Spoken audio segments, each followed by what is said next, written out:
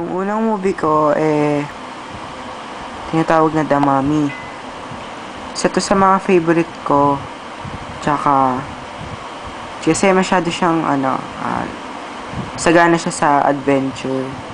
Tsaka, yung, ano niya, yung kwento niya, in the 1920s, a group of archaeologists led by adventurer Rick O'Connell discovers the mummified body of Imhotep, an Egyptian priest. Tapos may in love siya sa isang sa isang babae na ito.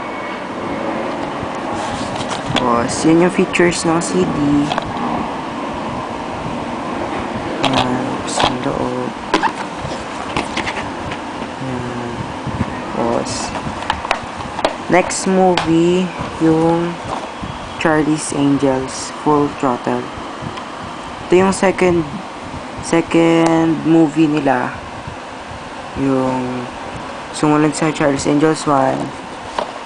Tapos, yun, ganun pa rin yung story nila. Nag, ano pala, si, para silang spies na undercover agents, mga ganun. So, yan, CD. Sunod naman yung The Day After Tomorrow. Para siyang 2012 na parang end of the world. Pero nag-focus siya sa papunta sila sa New York. Doon, yan. Mga twisters. Tapos yan yung seed, yung si, pinaka-CD niya. Tapos, yung loob.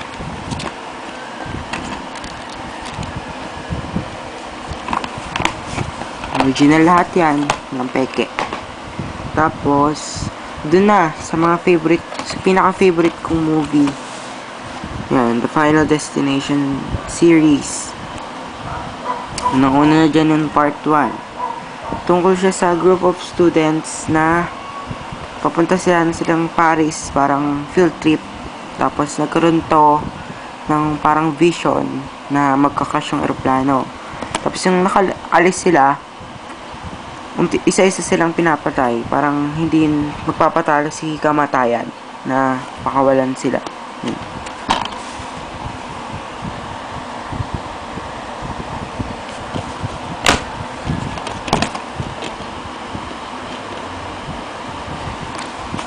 Sunod yung second movie.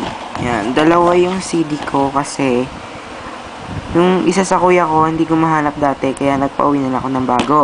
Ngayong nakuha ko na to, ayan, naging dalawa tuloy. Ito naman, mga strangers sila. Hindi sila magkakakilala. Pero, yun, nagkakilala sila dun sa highway na nagkaroon din ng vision tong babaeng to.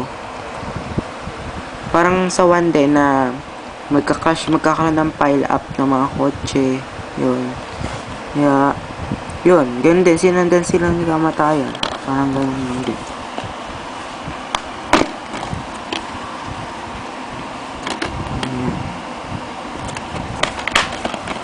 Sunod yung pangatlong movie. Yan. Itong part na to, ito yung pinaka-favorite ko sa tatlong movie. At pinakamaganda for me. Yan, tungkol siya din siya sa, mga, sa isang graduating class ng seniors na nagpunta sa ah, sa parang carnival ng school nila. Sumakay sila sa roller coaster. Tapos, itong babaeng to, siya naman yung nagka-vision na magde-derail yung tracks ng roller coaster. Yun. So, isa-isa din silang namatay. Ito yung laman. Ayan. Two disc siya, isang widescreen version, tapos isang full screen na may bonus features. Ayan.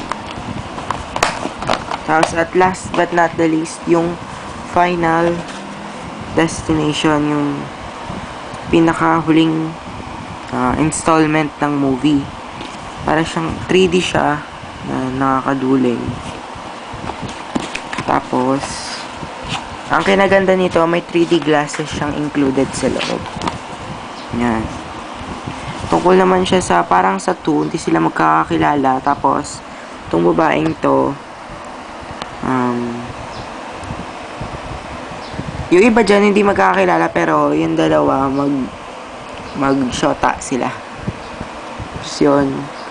Tapos yung lalaking yon yung nakakaroon ng vision. Tapos yan. Marami magandang movie ito. Mahilig kayo sa gruesome and gore movies, panoorin nyo to. Yan. Ito yung 3D glasses. Ganda yan pagka pinanood nyo.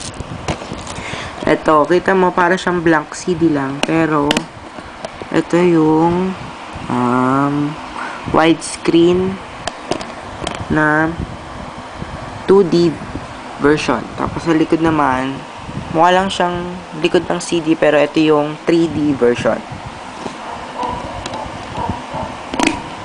So, yun. Yan na yung mga movies ko. Sana na-enjoy nyo. Thanks.